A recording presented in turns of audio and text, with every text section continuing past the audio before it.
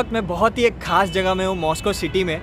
Moscow city में नहीं थोड़ा सा आप कह सकते हैं आउटस्कर्ट्स में। आ, मुझे एक्जैक्टली हॉस्टल से यहाँ पहुँचने में 35 टू 40 मिनट्स लगे। दो ट्रेनें चेंज करनी पड़ी एक मेट्रो की और एक नॉर्मल ट्रेन की। टोटल कॉस्ट सिक्सटी रूबल लगा। यहाँ पे एक मैं गूगल का स्क्रीनशॉट दे रहा हूँ, जिससे आपको आइडिया लग जाएगी कि जॉर्जे स्टेशन जो है और बेसिकली लोकेशन कहाँ पे ये मंदिर की, कृष्ण मंदिर की, जो कि खास जगह है और जहाँ मैं आया हूँ। माय गॉड इतने दिन हो गए रशिया में और फाइनली मुझे अब अच्छा लग रहा है, जबकि मैं अंदर गया नहीं हूँ, बाहर से मेरे को इतनी खुशी मिल रही है कि हिंदू टेंपल के बाहर इस वक्त मैं खड़ा हूँ। तो थोड़ा अपनापन लग रहा है और लकीली मुझे अभी पता चला कि शाम के पाँच बजे यहाँ पे, आज फ्राइडे तो आज है ना भजन कीर्तन होने वाला है। मेरे को तो बहुत मज़ा आता है। मैं बॉम्बे भी रहता हूँ या राजस्थान भी रहता हूँ, कहीं भी रहता हूँ तो मैं भजन वगैरह में बहुत बिलीव करता हूँ इन्जॉय करता हूँ वो चीज़ को। और मैं हूँ थोड़ा रिलीजियस बंदा, जैसे आप सभी लोग को पहले से पता है, अगर पहले से आप मुझे फॉलो करते हो तो तो ये मेरे लिए बहुत खास होने वाला है एक्सपीरियंस तो लेट्स गो इनसाइड और देखते हैं कि कैसा है मंदिर कृष्ण भगवान का। सब रशियन से 95 परसेंट अंदर सब रशियन से। और इंस्पायर्ड ऑफ़ कोर्स इंडिया से हुए हैं हमारे मथुरा, हमारे वृंदावन।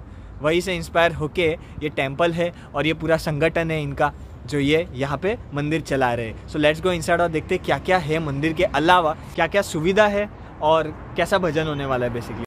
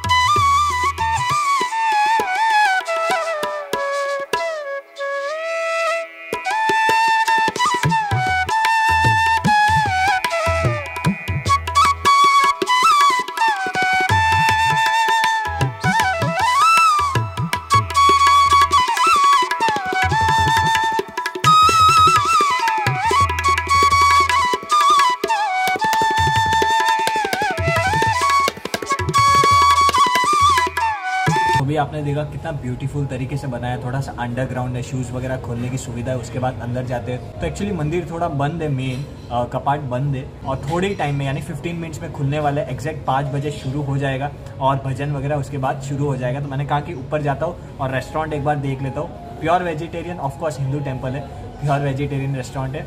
काफ़ी शानदार है रेट के हिसाब से भी और प्रोडक्ट के हिसाब से भी। आपने देखे ही है, मैंने पूरा मेन्यू बताया, लगभग आपको समोसा से लेके सारी चीज़, अस्सी रूबल का समोसा। और ये आलू पराठा है, जिसका मतलब काफ़ी बड़ा है यू नो अच्छा खासा पेट भर सकता है। दो पीस से तो भर ही जाएगा आपका। एंड मैंने फ़िलहाल एक ही पीस लिया है और एटी रूबल्स का पड़ा है। प्योर ताज़ा खाना, बिल्कुल ऐसा ही स्वाद आएगा। आ, कम मिर्च कम मसाले सब कुछ कम है। जी हाँ यहाँ कल्चर वैसा ही है कि कम तीखा खाते हैं। लेकिन जो भी है बहुत प्यारा है। एकदम ऐसा लग रहा है फ्रेश है होम मेड है।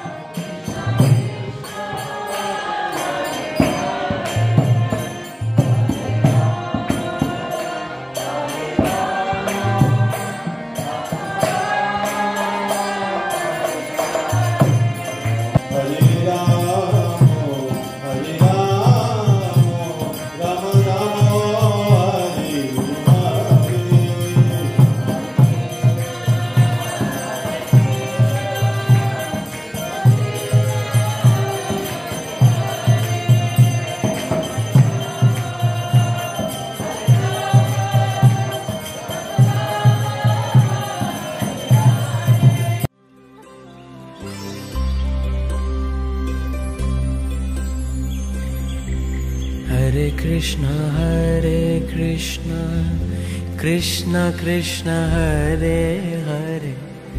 हरे राम हरे Ram Ram Ram Hare Hare.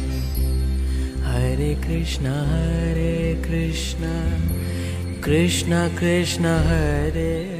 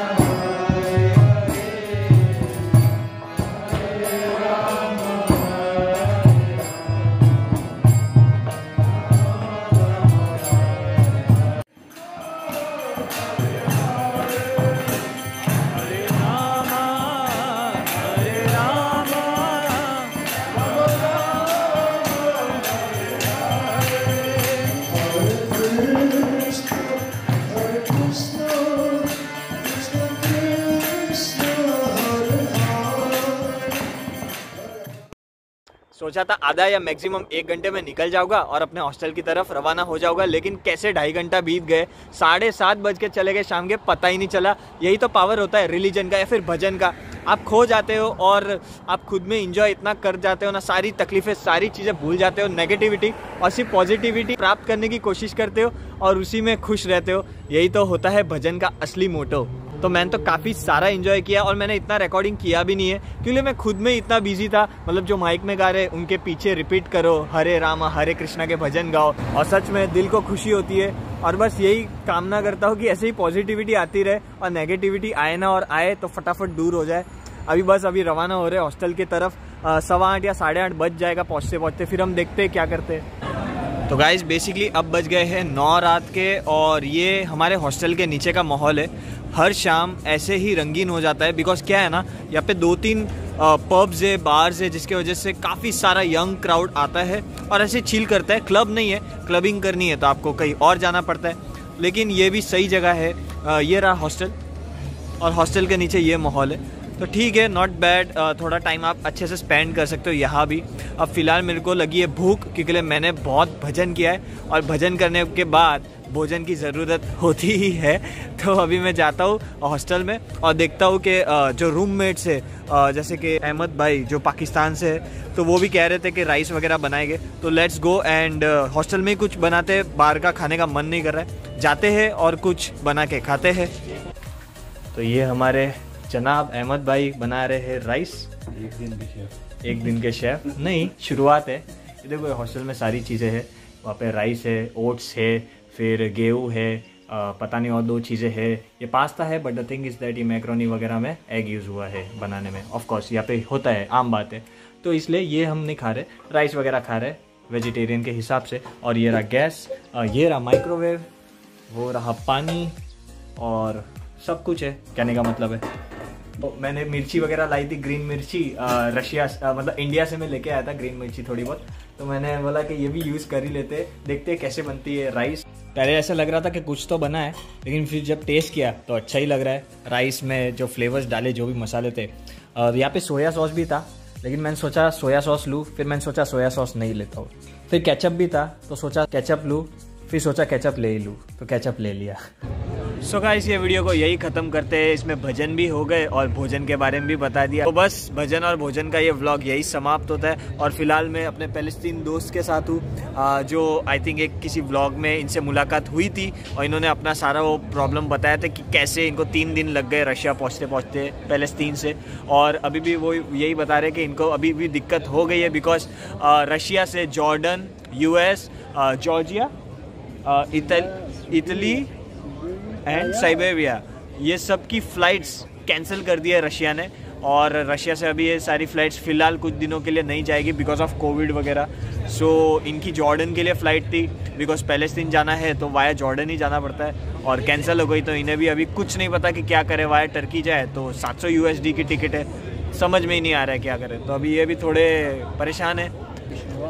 Rough situation completely rough situation देखते हैं अभी क्या होता है। मेरा तो ये सीन है कि बस अभी घूम लिया और जितना घूमना था तो अभी कल मैं कोविड टेस्ट करवाने जा रहा हूँ बिकॉज़ मैं जाने वाला हूँ उज़्बेकिस्तान। मेरे को किर्गिस्तान का तो वीज़ा नहीं मिला है, पच्चीस दिन हो गए और उज़्बेकिस्तान का तीन दिन पहले अप्लाई कर दिया और मिल गया। तो ये मेरी स्टोरी है आगे आपको सारी चीज़ें पता चल जाएगी, कैसे वीज़ा अप्लाई करना है, क्या करना है। तो कोई दिक्कत वाली बात नहीं है तो आगे के ब्लॉग्स में मिलते कल मैं कोविड टेस्ट वगैरह करवाऊँगा, यहीं पे मॉस्को में। और देखते फिर आगे, है ना? Thanks a lot for watching this video.